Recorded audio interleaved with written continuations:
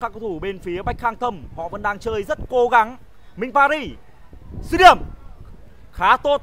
Vì cửa đi tiếp của đội bóng Borussia là rất nhỏ, nó chỉ là một phần trăm. Phát đền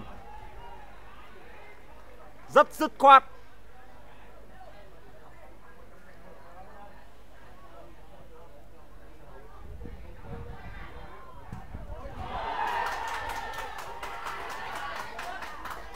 Liên Thành có bàn thắng. Rất hay. Rất hay, rất hay. Với kịch bản này thì chúng ta còn rất nhiều điều để đáng xem ở trong hiệp thi đấu thứ hai. Có quá nhiều điều bất ngờ tại Sài Gòn CDA khi mọi thứ chỉ thay đổi trong phút chốc. Chủ quan sẽ phải trả giá. Những cái giá rất đắt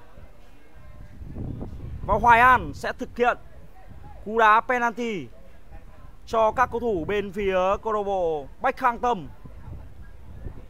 Số 19 đã có được bàn thắng mở tỷ số và đây là cơ hội để cho anh lập cú đúp. Hoài An không đánh bại được Tấn Đạt. Hoan hô đạt mèo. Lỗi của mình Pazi rồi. Rất hay. 10 điểm cho thủ thành của bên phía Naminen nhưng phải nói nó quả đá quá hiền.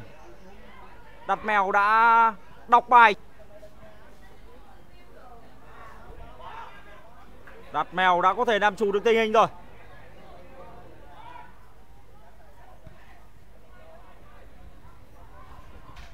Trọng phi.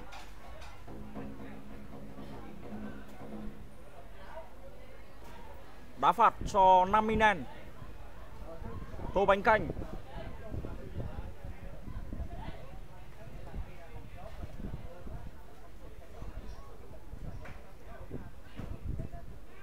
Tạt mèo. Dứt điểm, tuyệt vời. Siêu phẩm của Phi Hà Tĩnh. Cầu thủ đã trưởng thành từ nò đào tạo sông Nam Nghệ An. Rất đẹp và chúng ta cùng xem lại siêu phẩm. Một bàn thắng phải nói là rất rất đẹp. 3-2 cho các cầu thủ bên phía Naminen. Quá đẹp.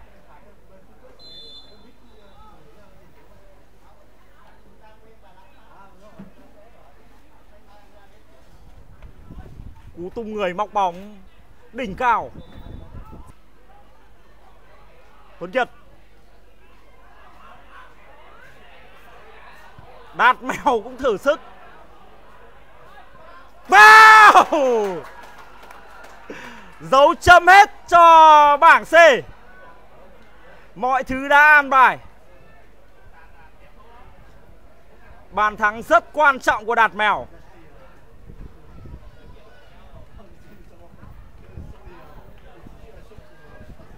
Bốn hai cho Naminen